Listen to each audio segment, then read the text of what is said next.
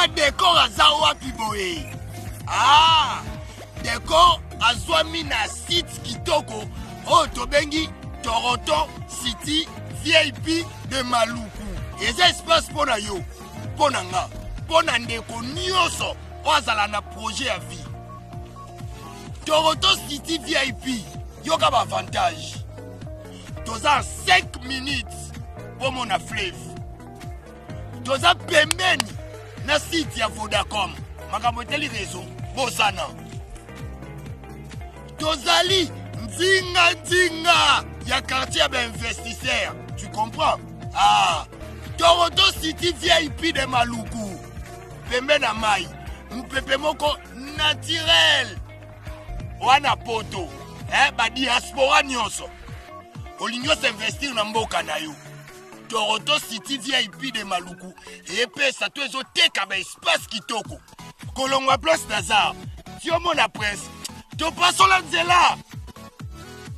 Toronto city vip de maluku. Ekosunga yo ozala na projet. Osala site touristique. To mpe otonga villa na yo. Ah papa. Benga papa willi benga papa willi na nimero oyo. Ta nimero oyo otyeli bino benga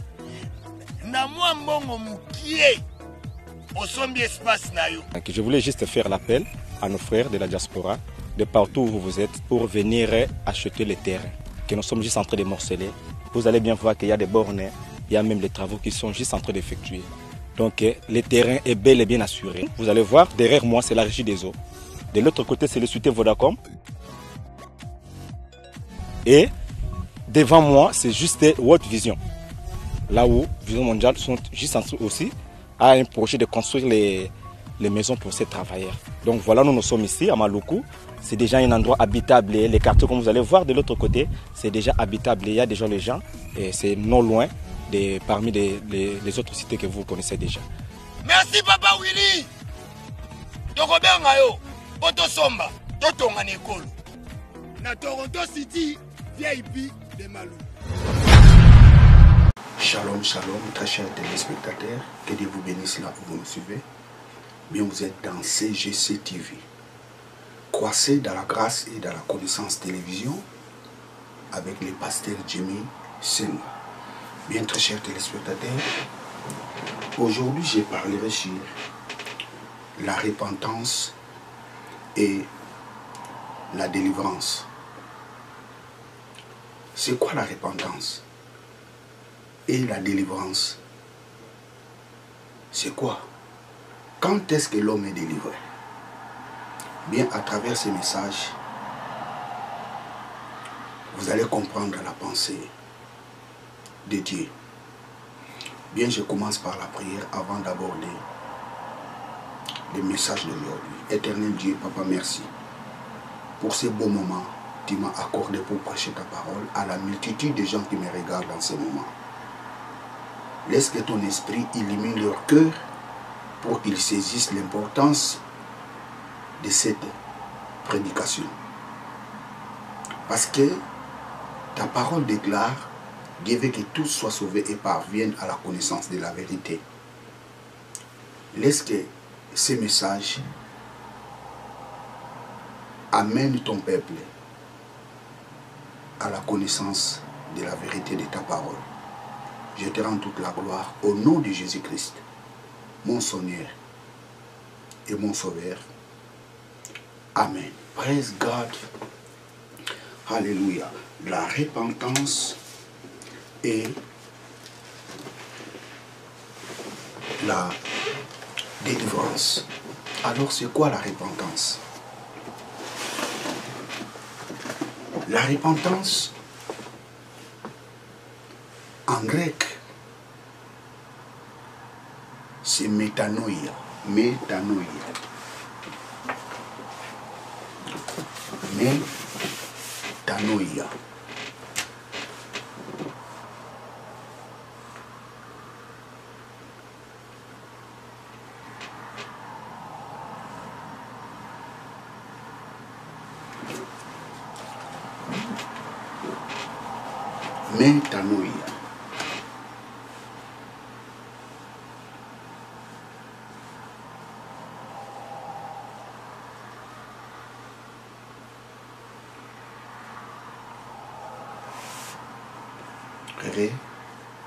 repentance.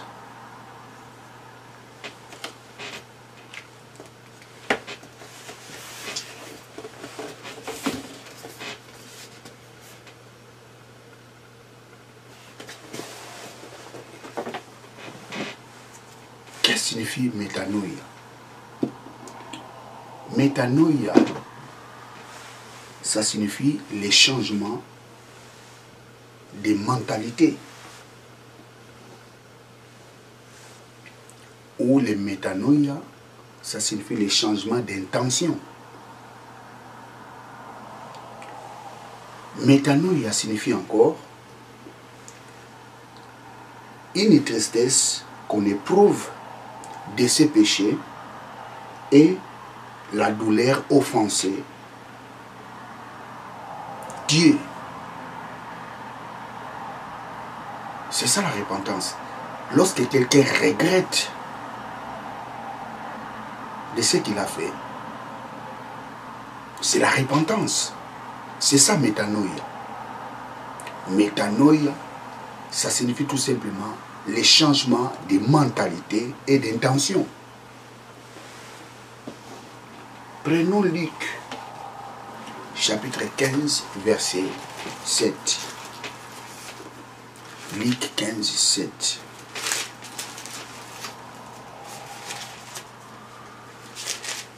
Luc 15, 7.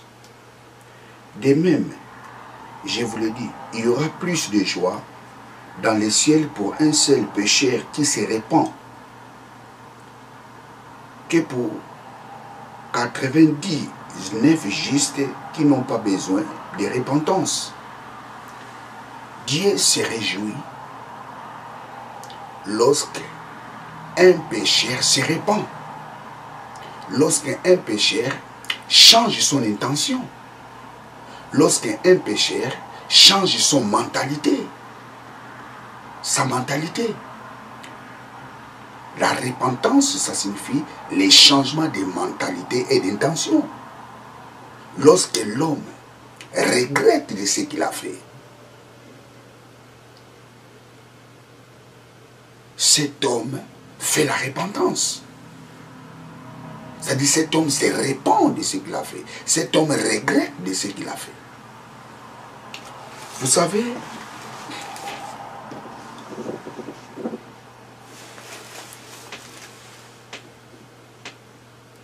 Jean-Baptiste prêchait la repentance aux gens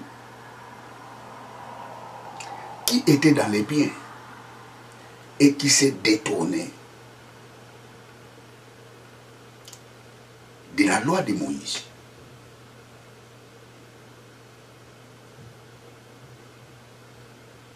Jean prêchait le message de la repentance aux gens qui connaissaient Dieu et qui s'est détourné de la bonne voie. C'est très important. Il leur prêchait d'accepter Jésus-Christ pour la rémission de leurs péchés.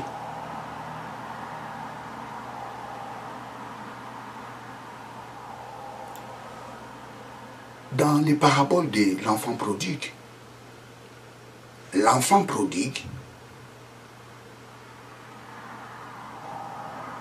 connaissait son père. Il était dans la maison de son père.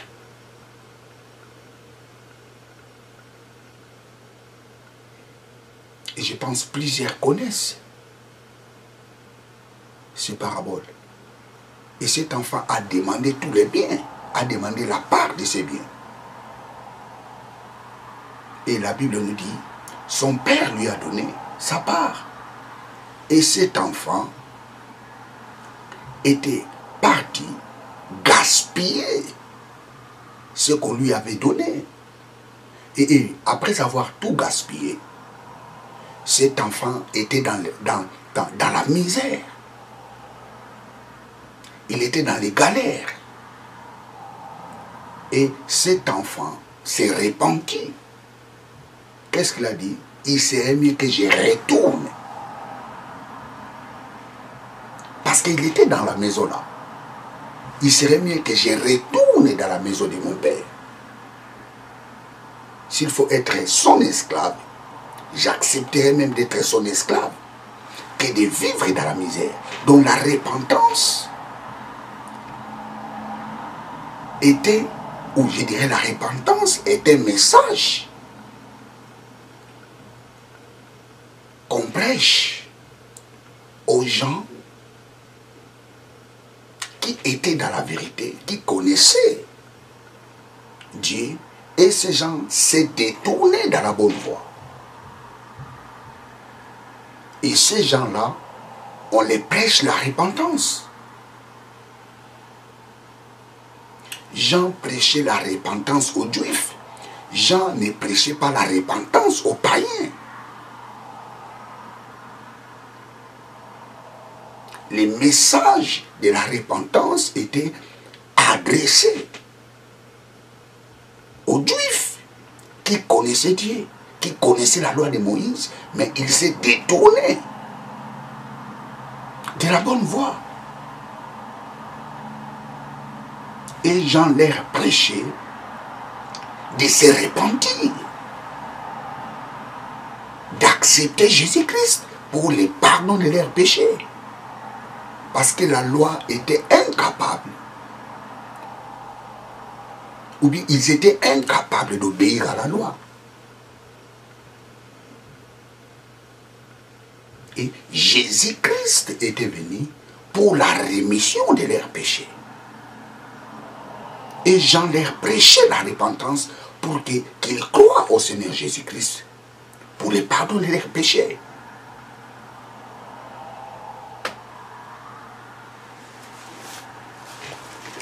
Matthieu chapitre 3, verset 11.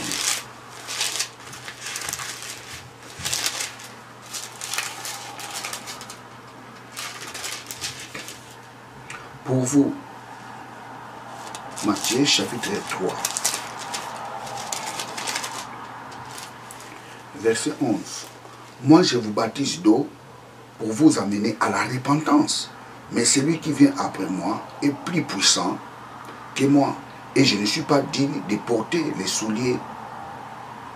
je ne suis pas digne de porter ses souliers. Lui, il vous baptisera du Saint-Esprit. Moi, je vous presse le baptême de la repentance. Le message de la repentance est adressé aux gens qui connaissaient Dieu et qui s'est détournés de la bonne voie. Marc, chapitre 1, verset 4. Jean parut, baptisant dans le désert et prêchant le baptême de la repentance pour la rémission du péché. Donc le message, ou je dirais le message de la repentance, était prêché aux Juifs, les gens qui connaissaient Dieu. Il connaissait Dieu, mais il s'est détourné de la bonne voie. Lorsque quelqu'un se détourne à la bonne voie, on lui prêche la repentance, qui signifie de retourner vers Dieu. On lui prêche la repentance pour que la pe- personne change sa décision, pour que la personne change sa mentalité. Le message de la repentance est prêché aux gens qui s'est égaré.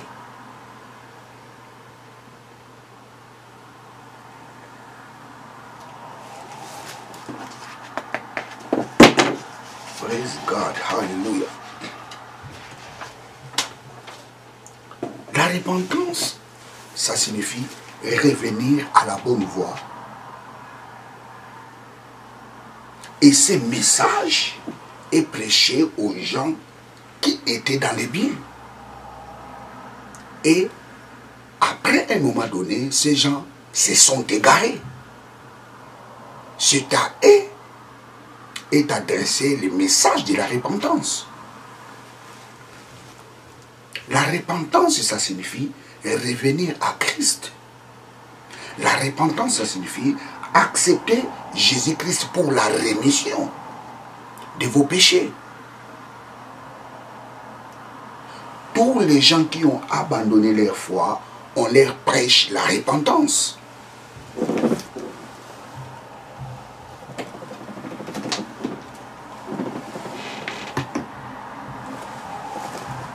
Tous les gens qui ont abandonné leur foi, on les prêche la repentance. Hébreu chapitre 6, verset 1.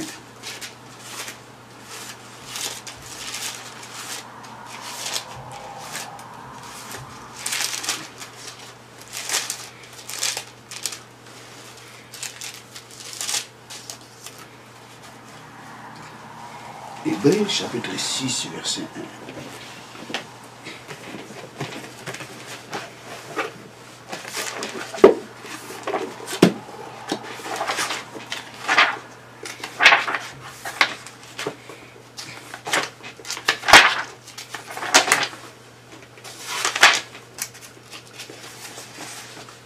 Praise God, Hallelujah. Hébreu chapitre 6.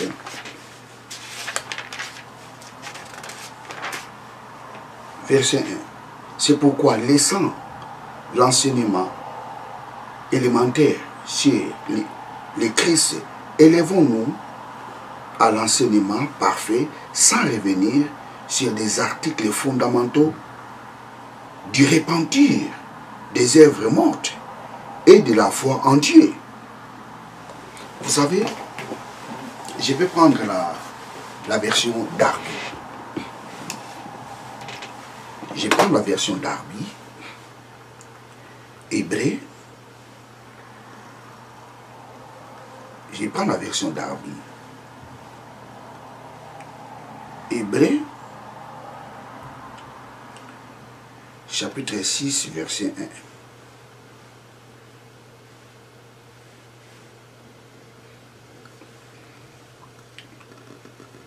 La version Darby.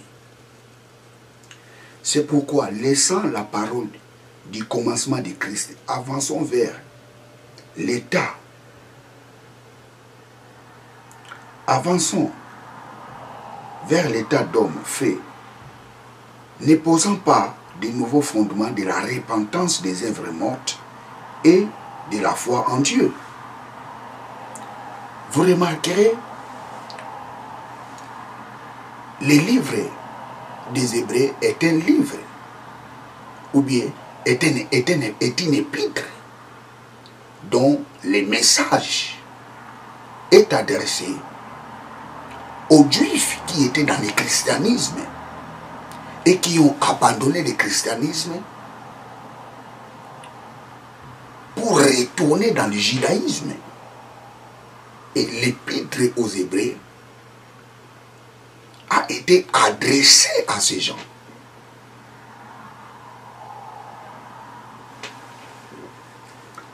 Que nous dit la Bible?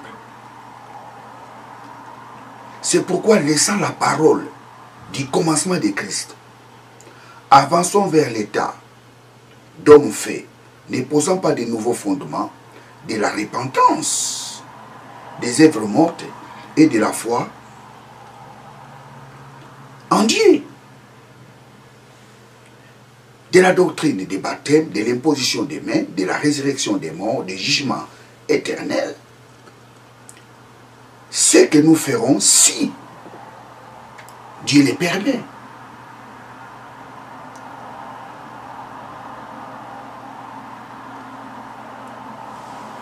Vous savez, très chers téléspectateurs, lorsque quelqu'un revient en Christ, les premiers messages qu'on lui enseigne, c'est le message de la repentance. On ne peut pas directement commencer à lui enseigner d'autres choses. On lui commence d'abord par les messages de la repentance, l'abandon des œuvres mortes.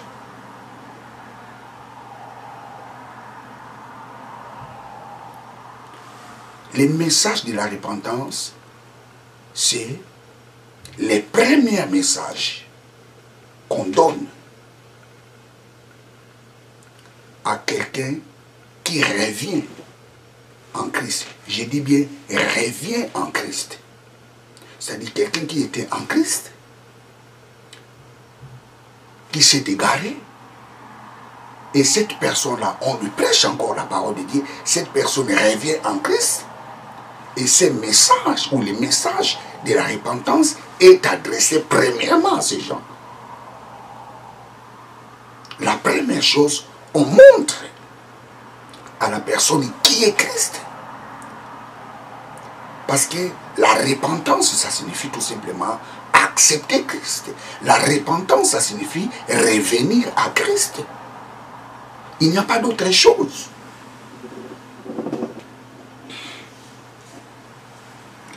Tous les gens qui ont abandonné leur foi, on leur prêche la repentance, c'est-à-dire revenir à Christ. Qui signifie abandonner les œuvres mortes. Hébreu chapitre 6, verset 1. C'est ça que l'apôtre Paul dit. Lorsque nous allons arriver vers vous, nous allons commencer par les premières choses, les éléments élémentaires. La repentance, les baptêmes, ainsi de suite.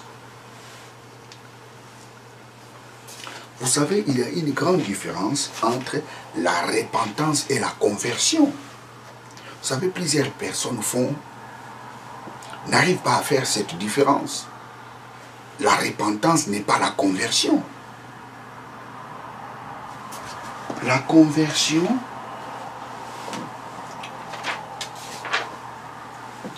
en grec, c'est épistrépo. Épistrépo. Épistrépo. Et bis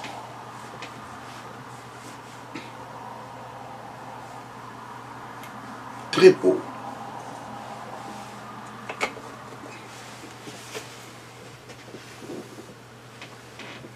Épi- Épice très faux. Épice très faux.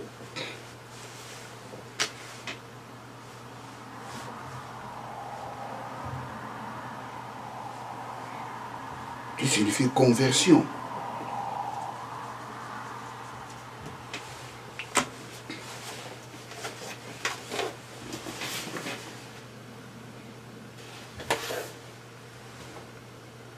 Praise God.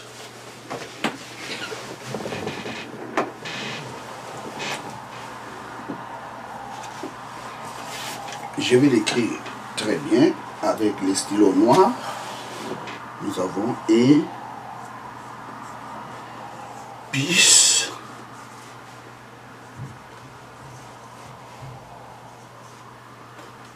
qui signifie conversion.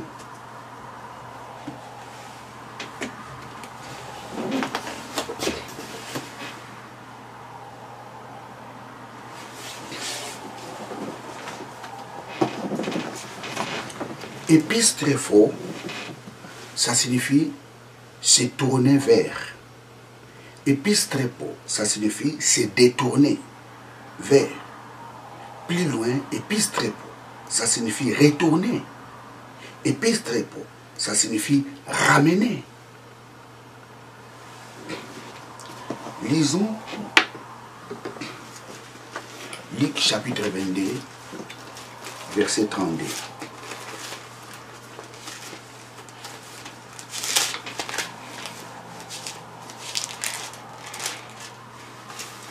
Luc 22. Luc 22, 32. Mais j'ai prié pour toi, afin que.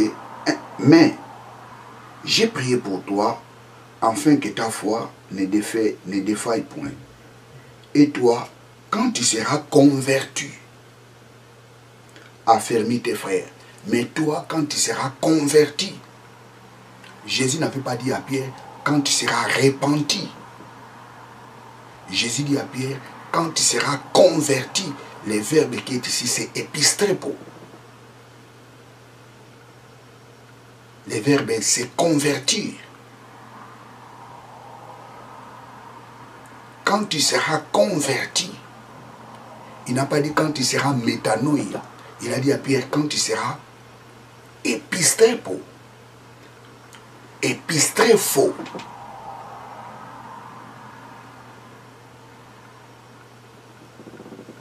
Ce n'est pas épistrépo, mais faux. Praise God.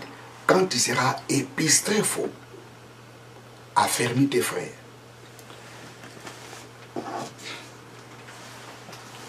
Pourquoi Jésus avait dit à Pierre, quand tu seras converti Ces mots nous montrent tout simplement que l'apôtre Pierre, même s'il était un juif, mais à la base, il était un vrai païen.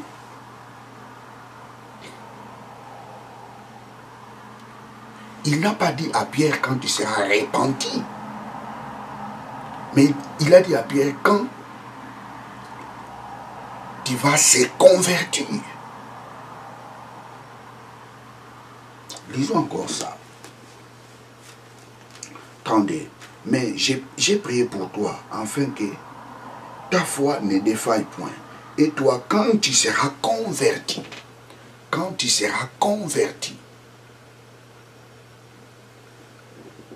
affermis tes frères.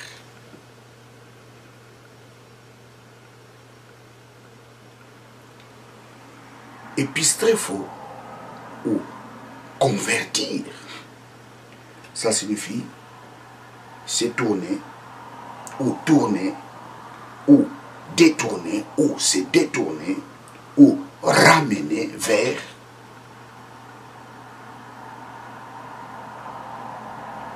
Jésus dit à Pierre et Pierre, quand tu vas tourner vers moi, convertis tes frères. Vous savez, Pierre suivait Jésus. Mais il n'était pas tourné vers Jésus. Il était toujours un païen. Mais Jésus lui dit, quand tu vas se convertir, quand tu vas tourner vers moi, affermis tes frères. Acte chapitre 15, verset 19.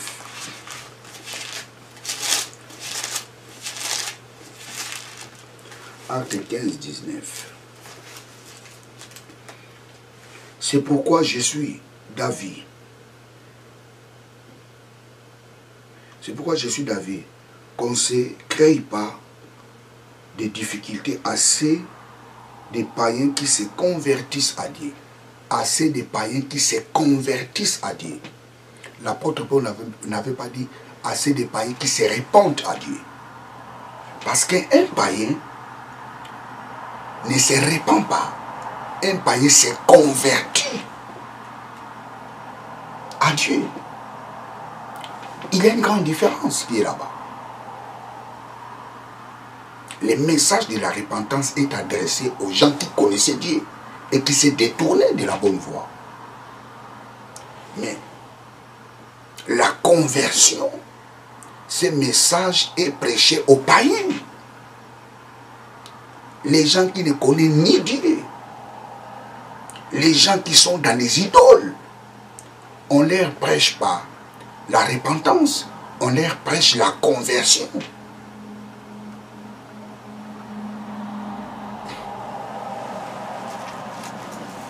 Disons encore acte 26, 18. Acte 26, 18. Acte 26, 18.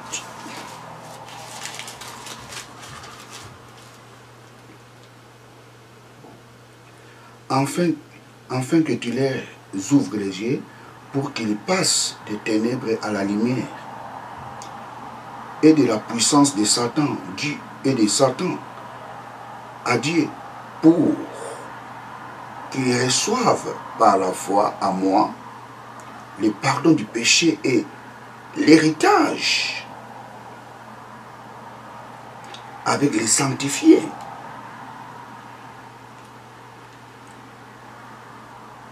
26. Praise God. Hallelujah.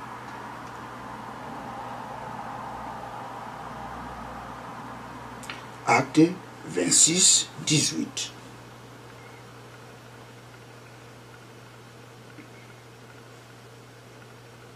Prenons Acte 26, 20 à 21.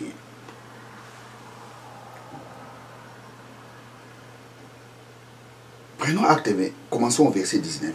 Toujours acte 20, acte 26, acte 26, 18 à 21.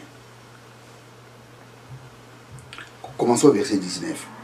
En conséquent, roi Agrippa, je n'ai point résisté à ta, à ta vision céleste.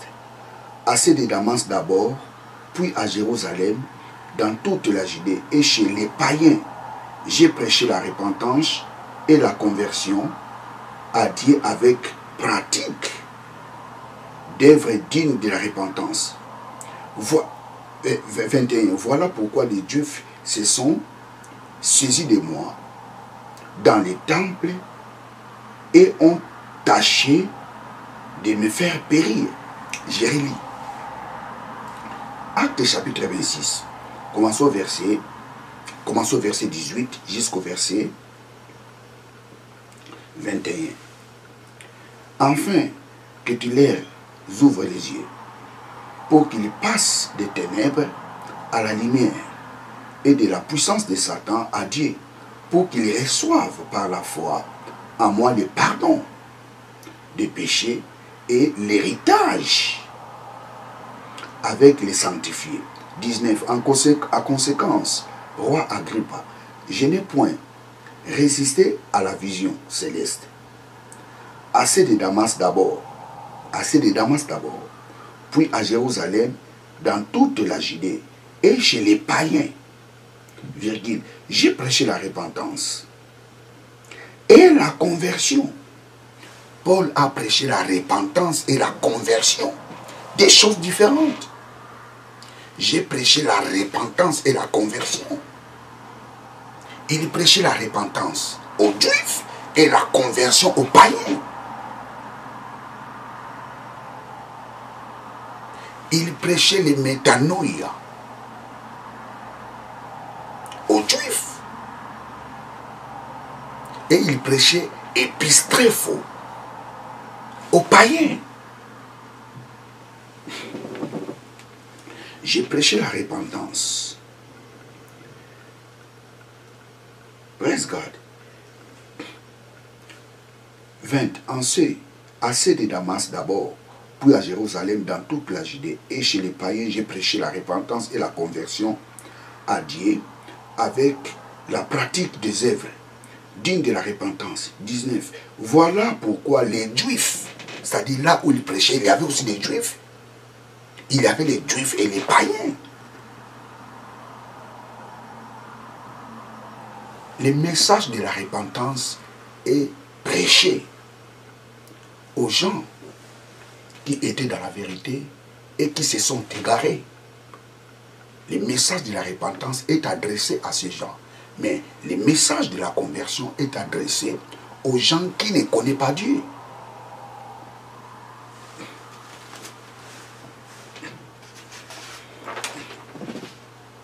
Paul, devant les païens, il utilise le mot conversion. Il n'utilise pas le mot repentance. La conversion, ça signifie tourner vers.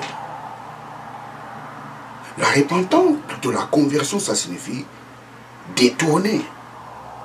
La conversion, ça signifie ramener. Le message de la conversion est un message adressé aux païens de tourner vers son Créateur par Jésus. Je recommence. Le message de la conversion est prêché aux païens pour qu'ils tournent, pas retournent, pour qu'ils tournent vers les dieux véritables en croyant Jésus. personne ne peut aller au Père sans passer par Jésus.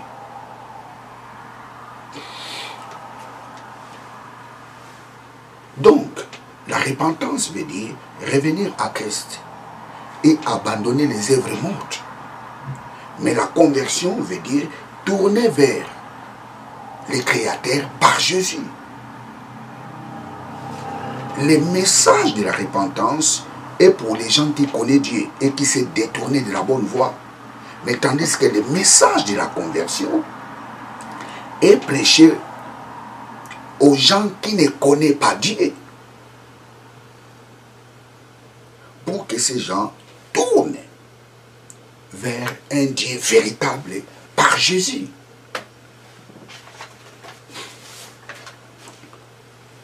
À l'église, on ne peut pas prêcher chaque jour la repentance.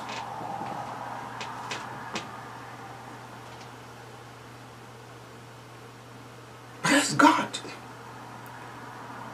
L'église, ce n'est pas un endroit de prêcher la repentance et la conversion. Pourquoi? Parce que l'église, c'est l'endroit de la perfection.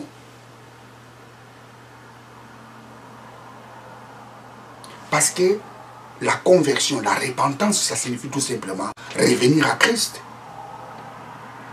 La repentance, ça signifie revenir à Christ et abandonner vos œuvres, les œuvres mortes. Ça, c'est la repentance. La conversion, ça signifie venir ou tourner vers les dieux véritables en croyant à Jésus-Christ.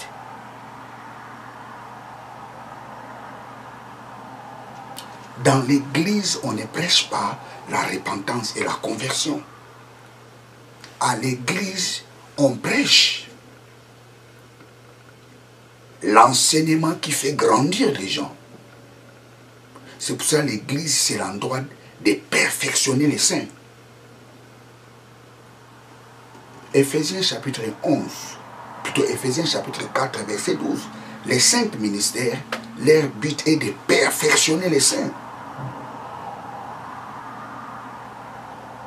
La repentance et la conversion, c'est les ABC de l'évangile.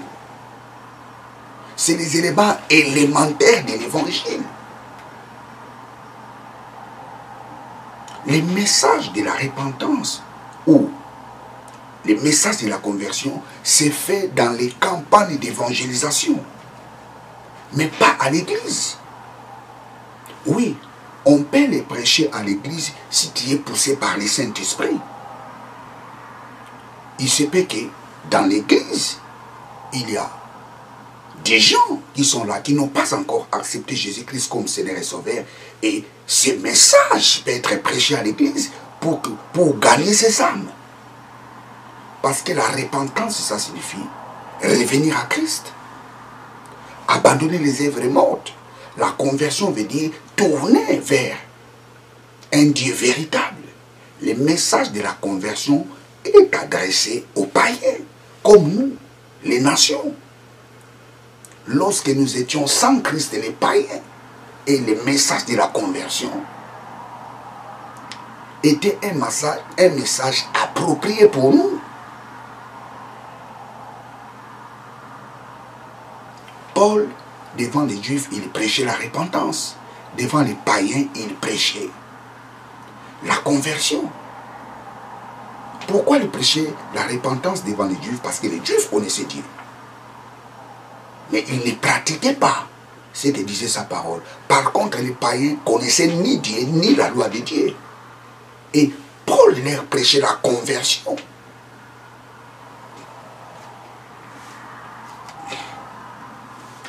Il y a des gens qui prêchent la purification du corps, mais ils disent, ils prêchent la sanctification. Lorsque tu prêches la sanctification, ce n'est pas dit que tu prêches la repentance. Lorsque tu prêches la sanctification, vous savez, le mot sanctification, Plusieurs personnes aussi, des fois, ne comprennent pas la signification de ces mots. La sanctification vient du verbe agiazo. Parce que la sanctification en grec, c'est agiasmos.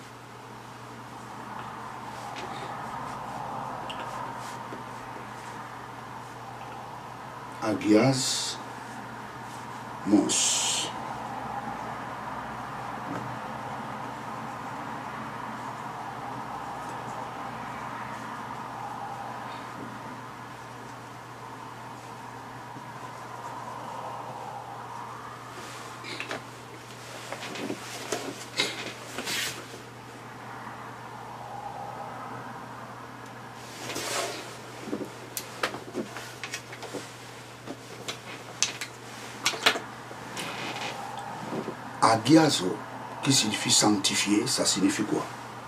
Ça signifie mettre comme consacré à Dieu. Sanctifier, ça signifie rendre saint.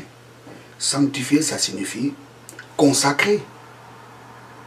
La sanctification ne veut pas dire abandonner les péchés. Dieu dit à Moïse, vous sanctifierez le septième jour. Ça signifie vous consacrerez le septième jour. Vous mettrez à part le septième jour. Les mots. La sanctification ne veut pas dire abandonner le péché. Il y a des gens qui prêchent la sanctification à l'église et disent qu'ils prêchent la repentance. Ça, c'est la confusion.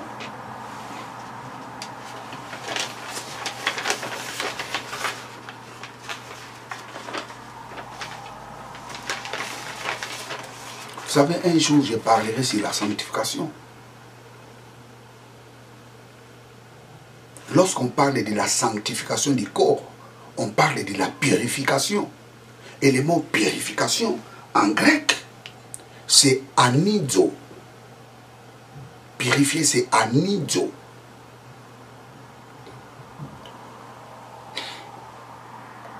La sanctification du corps, c'est la purification du corps. C'est ça, la, ou la sanctification pratique. Vous savez, un jour, j'en parlerai.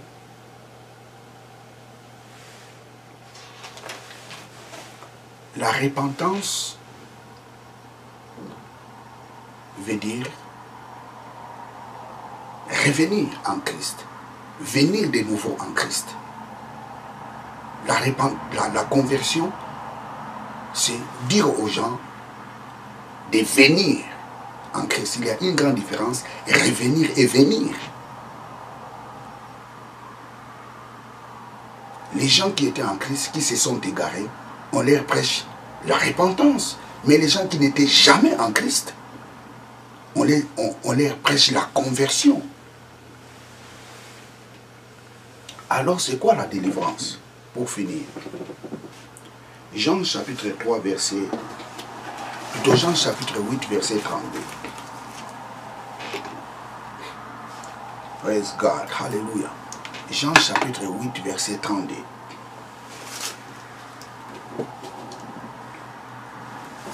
Jean chapitre 8 verset 32. Jean chapitre 8 verset 32. Vous connaîtrez la vérité et la vérité vous affranchira.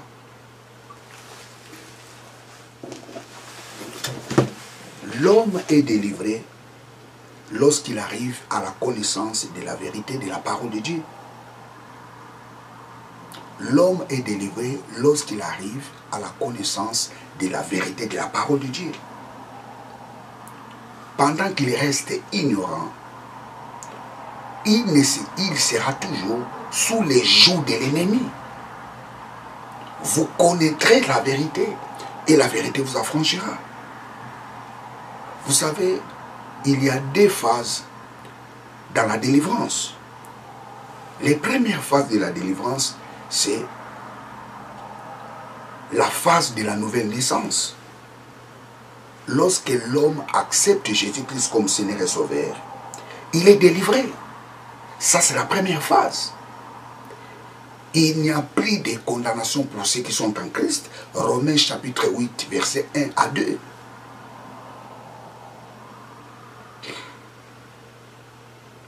La Bible nous dit nous avons eu l'accès devant sa présence. Les jours où nous avions, accepté Jésus-Christ comme Seigneur et Sauveur, Dieu nous a délivrés. Et nous avons eu l'accès devant sa présence. La Bible nous dit il nous a transportés dans le royaume de son Fils et de son amour. Lorsque l'homme accepte Jésus-Christ comme Seigneur et Sauveur, il est séparé du diable. Il n'a plus de lien familial. Il est libre. Cela se fait d'une façon, je dirais, cela se fait d'une façon automatique. Lorsqu'on accepte Jésus-Christ comme, comme Seigneur et Sauveur, on est délivré. On devient une nouvelle créature. On devient le temple de Dieu. On devient saint, pur, parfait devant Dieu. Cela se fait d'une façon automatique. Ça, c'est la première phase de la délivrance. L'homme est délivré lorsqu'il accepte Jésus-Christ comme Seigneur et Sauveur. Mais la deuxième phase, c'est quoi? La deuxième phase, c'est la délivrance de la mentalité.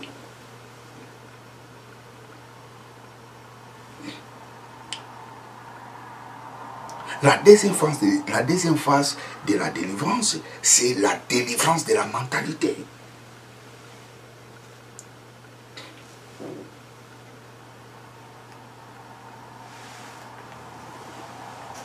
Savez, la Bible nous dit 1 Timothée, chapitre 2, verset 4.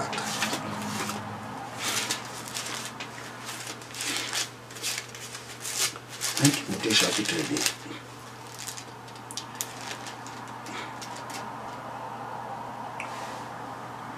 Qui veut que tous soient sauvés et parviennent à la connaissance de la vérité. Dieu veut que tous soient sauvés et parviennent à la connaissance de la vérité.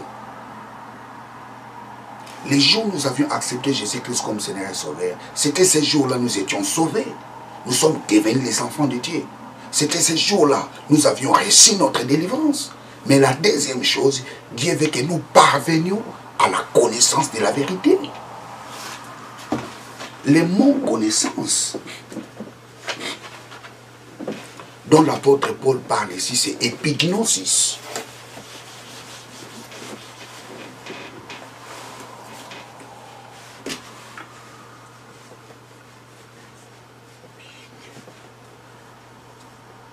Épignosis.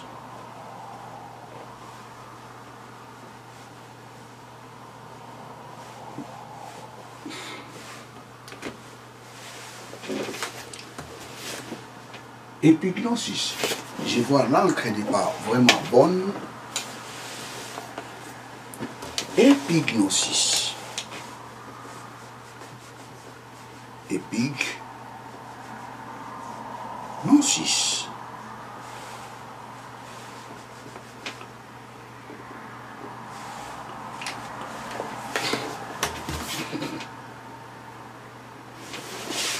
Épignosis, qui signifie la connaissance exacte, précise, correcte de la parole de Dieu. L'homme a besoin d'arriver dans la connaissance exacte, précise, correcte de la parole de Dieu. Vous connaîtrez la vérité et la vérité vous affranchira. La délivrance de la mentalité se fait lorsque l'homme arrive dans la connaissance exacte de la parole de Dieu. Lorsqu'on arrive dans les the correct knowledge,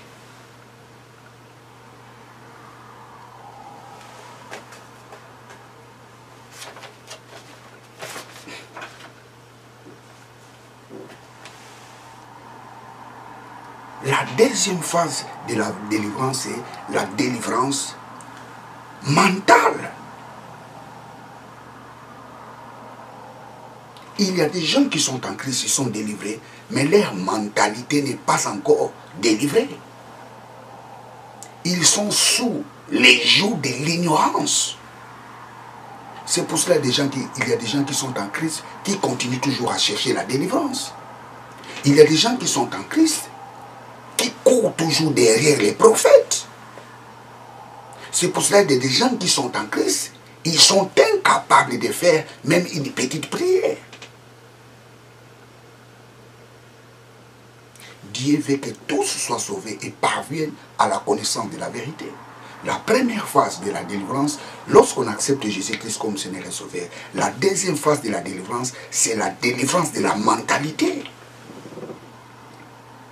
Ne vous conformez pas au siècle présent, mais soyez transformés par le renouvellement de l'intelligence. Tu dois renouveler ton intelligence par la connaissance exacte, correcte et précise de la parole de Dieu, épignosis.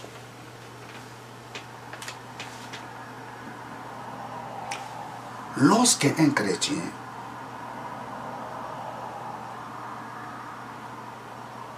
n'arrive pas à la connaissance de la vérité, il est sous l'ignorance. Il est sous les joues de l'ignorance.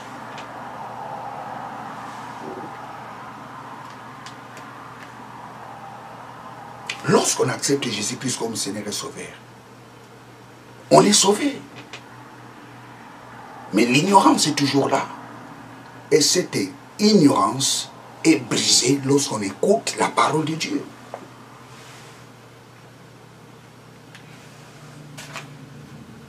Mon peuple périsse par faute de connaissances. Pour terminer, 2 Timothée chapitre 2, verset 24 à 26. 2 Timothée chapitre 4.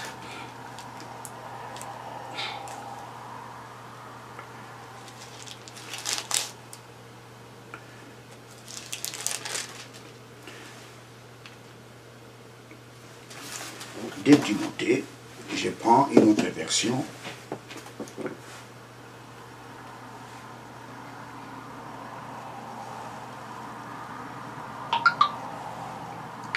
Praise God.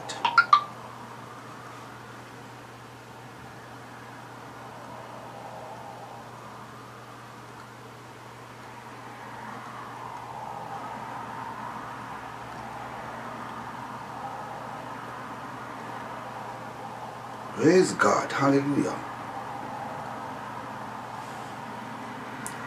De Timothée, chapitre. Plutôt de Timo- de Timothée, chapitre 2, verset 24 à 26. Or, il ne faut pas il ne faut pas qu'un serviteur du Seigneur ait des querelles. Il doit au contraire avoir de la condescendance pour tous, être propre à, enseigner, doué de patience. 25. Il doit, il doit redresser avec douceur les adversaires dans l'espérance que Dieu leur donnera la repentance pour arriver à la connaissance de la vérité. 26. Et que revenir à leur bon sens, ils se dégageront des pièges du diable qui s'est emparé d'eux pour les soumettre à sa volonté. L'apôtre Paul dit ceci. Lorsque tu es devant un adversaire, lorsque tu es devant un opposant de la parole de Dieu, parle-lui avec douceur, enseigne-lui la parole de Dieu. Peut-être Dieu lui donnera la repentance. Et si cette personne arrive à la connaissance de la vérité, le mot qui est là-bas, c'est l'épignosis. Lorsque cette personne arrivera à la vraie connaissance de la vérité, cette personne se dégageront du piège du diable. L'homme est délivré lorsqu'il arrive dans la vraie connaissance de la parole de Dieu.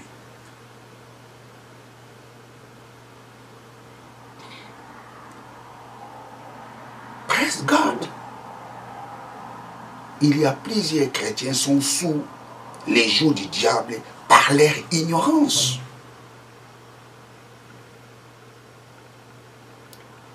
Les messages de la délivrance,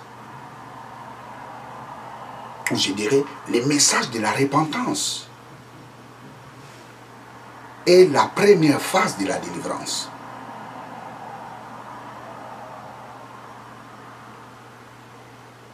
Parce que l'homme est délivré lorsqu'il accepte Jésus-Christ comme Seigneur et Sauveur.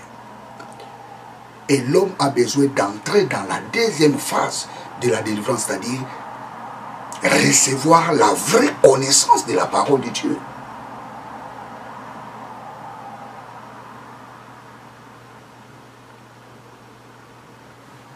Tu as besoin de chercher une bonne église. Tu ne peux pas rester dans une église dont les pasteurs te prêchent toujours la repentance, la repentance, la repentance, la repentance. La repentance, ça signifie tout simplement accepter Jésus-Christ comme Seigneur et Sauveur. Revenir à Jésus-Christ. Soit il presse, il prêche la sanctification. Des fois, il prêche la sanctification, mais pour impressionner les gens, il dit, moi, je prêche la repentance. Non, la repentance, ça signifie croire au Seigneur Jésus-Christ. Point barre.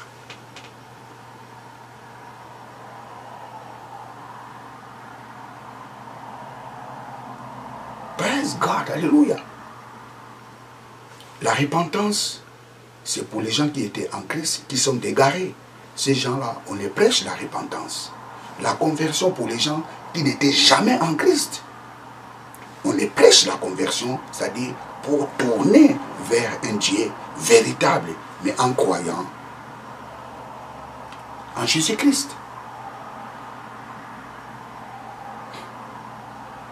Tu as besoin de la vraie connaissance de la parole de Dieu.